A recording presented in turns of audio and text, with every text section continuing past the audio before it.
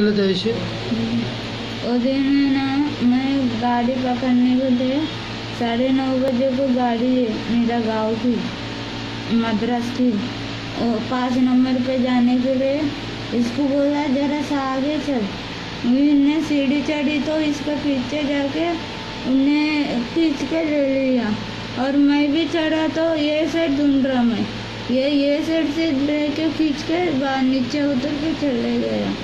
कौन था वो? वो मेरे को नहीं मालूम मैं कभी देखा भी नहीं उसको पहचान भी नहीं। क्यों लेके गया? कितने बच्चे थे? कितने बच्चे आपको? मेरा तीन बच्चा ये दो ये दो और छोटा लड़का अब भी हो।